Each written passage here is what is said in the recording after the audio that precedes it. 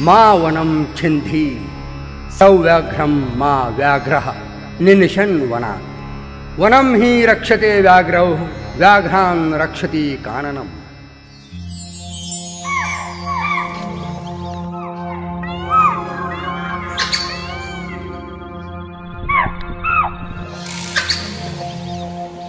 बाघ और मैं।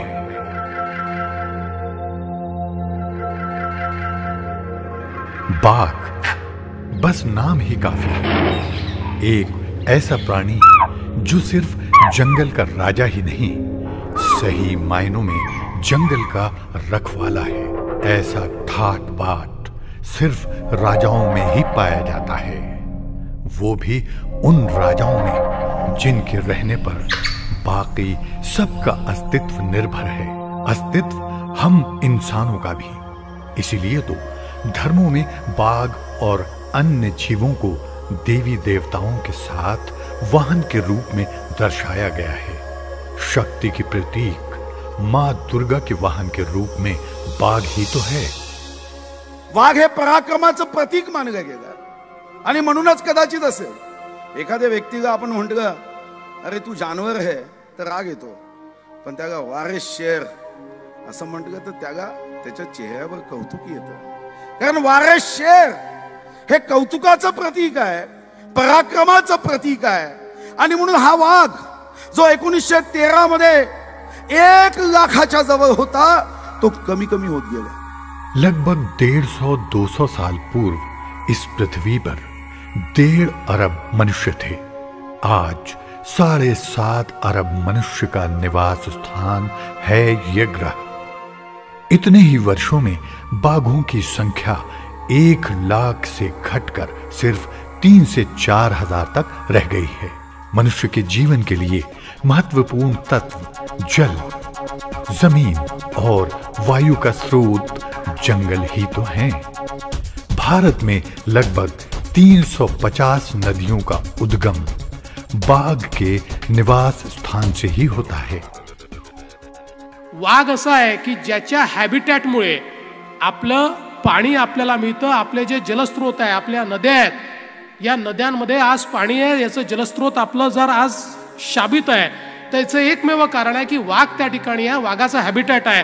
आणि ज्या क्षणी वाघाचं हॅबिटॅट संपतं त्या क्षणी आपले जलस्रोत देखील त्या ठिकाणी संपतात आणि पाणी देखील आपल्याला मिळत नाही. आणि म्हणून आपला जंगलाचा जो राजा आहे जो खऱ्या अर्थानं आपल्या सगळ्यांचा राजा आहे जो आपल्या सगळ्यांना जगण्याकरता या ठिकाणी मदत करतो त्या वाघाचं संवर्धन आपण सगळे मिळून करूया. जिस जंगल में बाघ है, वहाँ जंगल सुरक्षित है। वहाँ के सभी छोटे बड़े प्राणी सुरक्षित हैं, क्योंकि वहाँ मनुष्य का हस्तक्षेप कम है। पेड़ पौधे सुरक्षित हैं और जल की उचित मात्रा भी है। यही पेड़ पौधे मनुष्य को जीवित रखने के लिए ऑक्सीजन प्रदान करते हैं और वातावरण को शुद्ध रखते हैं। जल जमीन जंगल आणि जानवर या तीन गोष्टीच्या आधारावर आपलं भविष्यातलं जीवन अवलंबून आहे. प्राण्यांचंही रक्षण करायचं आहे झाडांचंही रक्षण करायचं आहे झाडांचीही संख्या वाढवायची आहे पर्यावरणाचाही समतोल सांभाळायचा आहे पर्यटनाचाही विकास करायचा आणि ग्रामीण भागातल्या आदिवासी आणि शेतकऱ्याच्या तरुण मुलाच्या हाताला रोजगार पण मिळवण्याचा पर इस बाघ को कई खतरों का सामना करना पड़ता है। चीन जैसे देशों में इनकी खाल और हड्डी से बनी दवाइयाँ बेची जाती हैं। ऐसे अवैध व्यापार में करोड़ों रुपया लगा है। प्रगतिशील देशों में बाघ का निवास स्थान जंगल और एक जंगल से दूसरे जंगल को जाने वाले वन मार्ग कम होते जा रहे हैं। खेत, गाँव, शहर रास्ते, कारखाने, सब बाघ के निवास स्थान को कम करने में लगे हुए हैं। क्या हम इन बचे हुए बाघों को सुरक्षित रख पाएँगे? क्या हमारी आने वाली पीढ़ी इन्हें जीवित देख पाएगी? Conservation of tiger will go a long way in ensuring a good future for our selves and our coming generation I would like to emphasize that conservation of tiger is not a choice, it is an imperative.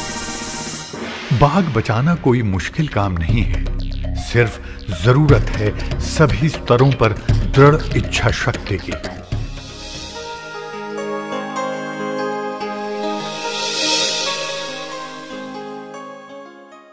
मेरा photo और album बनाने का व्यवसाय है। हम लोग जो album बनाते हैं, उसके लिए लगने वाली बैग्स जंगल के पास जो गाँव है, वहाँ पे महिला बचत गठ द्वारा बनाई गई जो बैग्स हैं, उसको हम वहाँ से खरीदते हैं। बच्चों में पर्यावरण का महत्व क्या है, उनकी रुचि जागरूक करने के लिए हम स्कूल में अलग अलग तरह के कॉम्पिटिशन्स ऑर्गेनाइज करते हैं। हम जो भी रिसर्च करते हैं उससे जो इन्फॉर्मेशन आता है फॉरेस्ट डिपार्टमेंट के लिए जैसे फॉरेस्ट डिपार्टमेंट ट्रेनिंग में यूज़ करें मैनेजमेंट में यूज़ करें और कंजर्वेशन से यूज़ करें उस हिसाब से हम ये data time to time forest department के साथ शेयर करते हैं हमारा रोल ये बनता है कि हमें जो जंगल और वाइल्ड लाइफ के ऊपर जो इन्फॉर्मेशन मिलता है वो हम एनालाइज करें और वो फैक्ट्स जो आते हैं उसको एनालाइज करें और उसको हम करेक्टली प्रेजेंट करें न्यूज़पेपर में। हम भी हमारा योगदान कर रहे हैं। हम किताबों पर कवर नहीं लगाते हैं। इससे बहुत सारे पेड़ कटने से बचते हैं। मैं कारपोरेट जगह से हूँ। मैं कोशिश करता हूँ कि जंगल के पास रहने वाले युवकों को मैं मेरी कंपनी तथा अन्य जगहों पर रोज़गार दे सकूँ।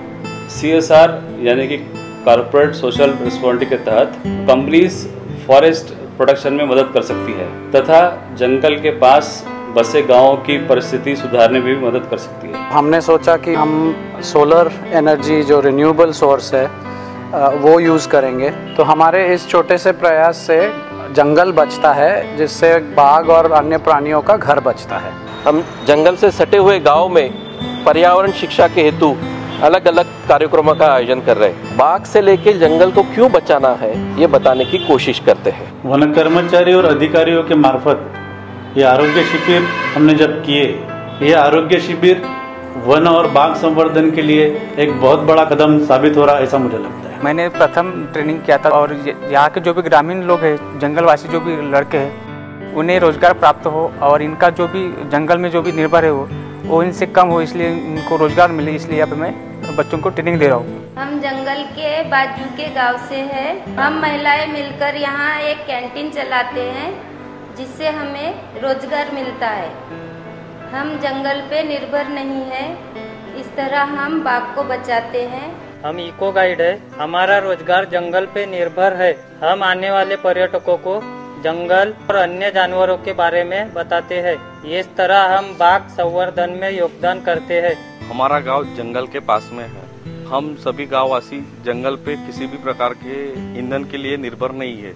हमें एलपीजी कनेक्शन का वाटअप हुआ है। जब भी जंगल में आपत्तिजनक परिस्थिति निर्माण होती है, तब हम सभी गाँव वाले फॉरेस्ट वालों की मदद करते हैं। इसी तरह हम सब गाव वाले बाग संवर्धन के लिए योगदान देते हैं। आपले देशातला सर्वात मोठी संपत्ती तर नैसर्गिक वन, नदी, आपली माती, ह्याला राखून नैसर्गिक ठेवणे, हे काम आपले वन विभागाचे कर्मचारी वन आय एफ़ एसचे अधिकारी हे करतात. ते आपले देशाची हातली सुरक्षा करणारे सर्वात महत्वाचे घटक आहेत. मैं मेरी टीम के साथ गाँव वालों की भी जंगल के संरक्षण के लिए सहायता लेता हूँ। बाघ के संरक्षण से जंगल का संरक्षण होता है और जंगल फूलता और फलता है। फॉरेस्ट डिपार्टमेंट जो काम करते हैं आपका जोश और जो निडर है आपकी वो